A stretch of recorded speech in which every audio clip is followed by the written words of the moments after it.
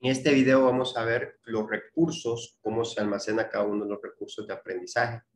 Aquí vemos que ya está activo el parcial 1, el parcial 2. Recuerden que tendríamos que ingresar a recursos de aprendizaje. El parcial 3 y el parcial 4. Ahí pueden encontrar los temas de cada uno de los parciales. Voy a colocarme en el parcial 1 y cuando ingreso aquí a esta carpetita, ahí me voy a encontrar con la planificación en formato PDF o la planificación en formato Word, cualquiera de ellas. Si nosotros damos clic ahí en el de PDF, se nos va a abrir ahí en la, en la misma plataforma. Ahí pueden ver ustedes que aparece toda la planificación en formato PDF. También se puede eh, tomar en Word y de aquí ya tendríamos lo, que necesitamos para hacer los planes, estándares, contenidos, procedimientos, actividades y expectativas del logro. Únicamente que solo está disponible para las clases de español, matemáticas y sociales. Solo para eso, para español, matemáticas y sociales. Bien, esa es la planificación, ahí están las dos para esa primera unidad. Luego tendríamos, o, creo que sí está para todo, vamos a ver, sí está para todo para todo el periodo, en todas las, las eh, los temas le va a salir, pero para todo. Esto que tienen, eh, este simbolito son, son las unidades del libro, es libro media. El libro media es el mismo libro que tienen los niños en física, en físico. Si le damos clic aquí nos va a aparecer el mismo libro. Estamos en matemáticas segundo grado y esta es la primera unidad la primera unidad, ahí tiene los números hasta 99. Bueno, tienen que empezar con la página iniciales, donde está la portada del tema. Después viene lo que es la evaluación diagnóstica, la evaluación diagnóstica que traen los libros de Santillana. Eh, después que el desarrollo de cada uno de los temas, aquí nos encontramos con algunos recursos. Por ejemplo, aquí tengo un recurso interactivo que lo puedo usar, sobre todo si estoy dando la clase en forma virtual. Empezamos a recurso interactivo y ahí eh, trae algún tipo de actividad, ahí se encuentra su pareja. Y descubrimos los pares. Tenemos que, obviamente, esto es una actividad interactiva, tengo que buscar el 80, ahí teníamos 40, ahí me sale 60, ahí me sale 70, ahí lo tengo. Ya tengo la primera que es 80 y ahí ellos pueden trabajar en formato virtual. Si, bueno, como vamos a tener internet, también se puede hacer allá desde la escuela.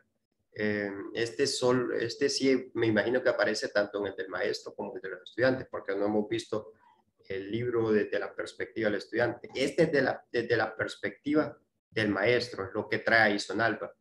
En el mismo libro nos salen algunas actividades interactivas ahí eh, lo vamos a reconocer. Voy a volver a entrar al libro. Lo vamos a reconocer con esos simbolitos que aparecen ahí. Aquí lo pueden ver, donde dice recurso interactivo. Son varios los que salen, hay recursos interactivos. Vean que hay hojas de trabajo. Esto es nuevo, la verdad, no estaba en, la plataforma anterior. Eh, ya no solo lo mismo, lo mismo que ya habíamos visto, eh, estas otras herramientas donde podemos, si queremos hacer un texto, si queremos hacer un cuadrado, si queríamos hacer un triángulo para encerrar el gato, digamos, si queremos hacer eh, una flecha que solamente les indique, bueno, van a hacer este ejercicio, y la flecha les servía. Eh, una línea curva que nos servía para escribir también, si quiero, por ejemplo, hacer una resta, 70 menos 24, lo puedo hacer con esa herramienta y ahí la, la puedo desarrollar. Estaba esta que, por ejemplo, si quiero poner que el trabajo que se hizo está bien, que eran con cheques, y si quiero poner que el trabajo que se hizo está mal, ahí se utiliza la X. O si se marque con X eh, tal número, el 100, digamos, entonces ya sabemos que aquí le, vamos a colocar la X. Eh, esas herramientas sí están activas, son las mismas que estamos utilizando. Eso se puede guardar dando clic aquí en la nubecita. No lo voy a guardar porque si no me va a quedar ahí. Se puede guardar dando clic en la nube, aquí en la nube. Y si no lo quiero guardar, le doy clic aquí en la X. Ahí me dice desea continuar sin guardar previamente, le voy a designar. O aquí le puedo dar también a la nubecita que lo que hace es guardarlo y cuando lo use el día siguiente, ahí me va a aparecer ya seleccionado el material. Esa es una de las herramientas que se utilizan.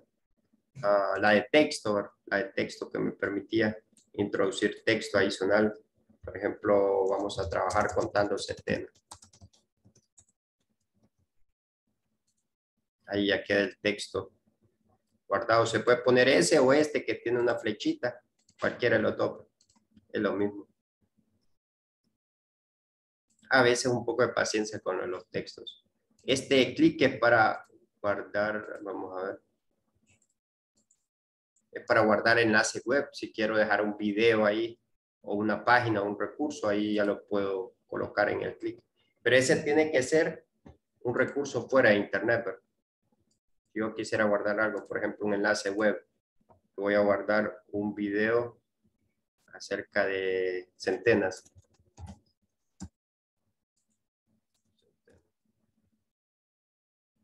Aquí cómo contar la centena. Le doy copiar al link. Bueno, tengo que esperar que me salga el link de YouTube. Ahí ya está. Le damos copiar. Voy a cerrarlo contar centenas. Y aquí lo tengo que poner. Ahí ya sale introduzca una URL. Si le quiero poner acá cómo contar centenas, también lo puedo hacer. Ahí ya tengo el link y tengo, le voy a aceptar y cuando doy clic ahí, en el, en el, en el enlace debería enviarme a, voy a salirme ahí me debería enviar al, recurso en internet. Bueno, pero para eso tengo que guardarlo. No lo quiero guardar ahorita para dejarlo limpio el libro. Ese es con el enlace. yo lo uso poco, la verdad. Lo uso poco. Porque igual el, otro año se resetea el libro y ya no vamos a poder tener lo mismo que guardamos. Entonces se presenta en el momento y ya. Pero si quieren utilizarlos ahí se puede dejarlo por escrito. Igual esto esta pantalla se puede hacer más grande o más pequeña, dependiendo de cómo lo necesitamos. Se puede con este. O también se puede con, esta es una de las herramientas, pero con el más y el menos. O, utilizando esta. Esta me permite tener, si doy clic aquí, expandir la, la página. Vamos a, solo voy a salirme acá. Aceptar si lo quiero expandir, solo se puede en el formato de, que no está editándose. En editas, cuando se está editando es cuando le damos a clic aquí a la llave. Ya esto ya lo han manejado la mayoría de nosotros. Si lo queremos ver amplio, aquí, ver. Y una vez ya lo tengo amplio, puedo dar clic aquí en formato editable y ahí empezar a trabajar. Pero el tamaño, al menos el de estos dos, solo se puede utilizar cuando no está en modo de, edición.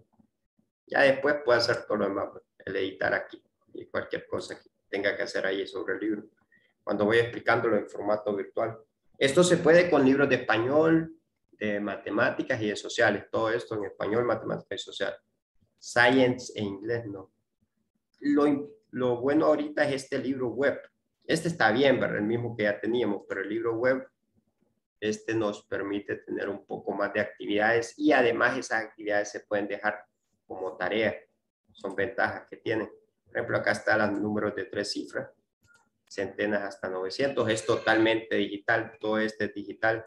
Eh, es trabajo digital, todo eso es muy importante ahí que lo vayamos practicando, sobre todo ahorita que no vamos a estar con los libros. Una buena opción sería los libros web, porque es un formato bastante bonito. Eh, yo pienso, bueno, si voy a dar clases de tercero, hacerlo con el de segundo, una buena forma para hacer un repaso. Por ejemplo, acá dice arrastre cada opción en el espacio correspondiente según el contenido. Nos pide el número, contamos 2, 4, 6, 7, sería, el número sería 700, lo arrastramos. Eh, esto lo puede hacer el niño en su plataforma, pero también lo puede hacer el maestro mientras está explicando. Bueno, ¿qué número va aquí? Y entonces esperamos que los alumnos no contesten y ahí iría el 700. Igual con la siguiente, ahí sería 300. Pues. 300 el número y la lectura el mismo. Y para la otra quedaría 500. Ah, vamos a ver, no me da la página ahí para... Bueno, lo voy a dejar así. Le damos comprobar. Aquí hay opciones para, para minimizarlo.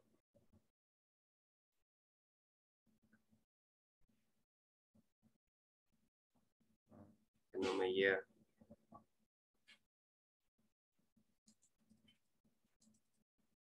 Ahí, ahí estaba haciendo más pequeño. Si es que el más aleja y el menos acerca, pero sí creo que tiene un límite.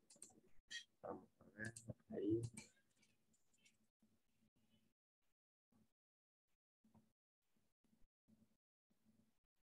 Para llevar el 500 me lo permite y eso que tengo mouse de Reddit. pero lo voy a dejar con eso todo. A comprobar, eso lo tendríamos que preguntar, pero ahí hay dos buenas, una mala, una que no habíamos completado. Dos. Eh, la siguiente actividad estaría acá. Orden y comparación en centenas. Podemos probar con el zoom de, del explorador. Tal vez nos permite ahí trabajarlo más fácil. Vamos a ver. Sí, creo que con este nos va a salir con el zoom del explorador. Ahí ya lo tengo en 50. Al menos para esa. Ahí llevo el 500, que es el que me hace falta. Número. Y bueno, tengo que darle reintentar. Ahí lo, lo vamos a hacer bien. 700. La lectura, 700 el número. aquí era 700, el número acá.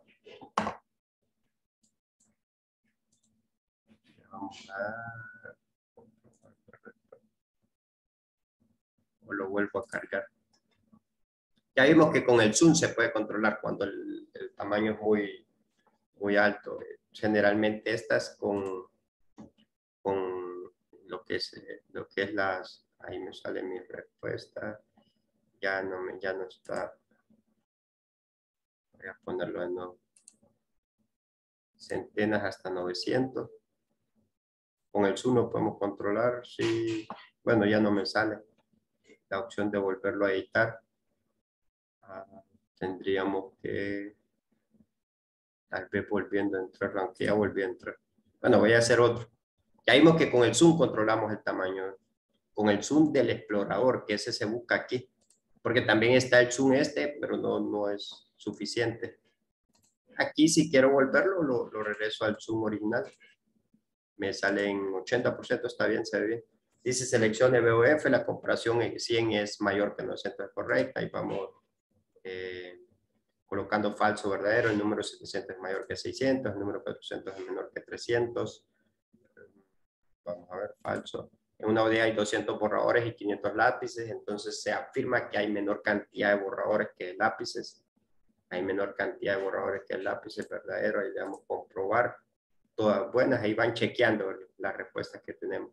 Esta es la teoría, la teoría y la, y la práctica.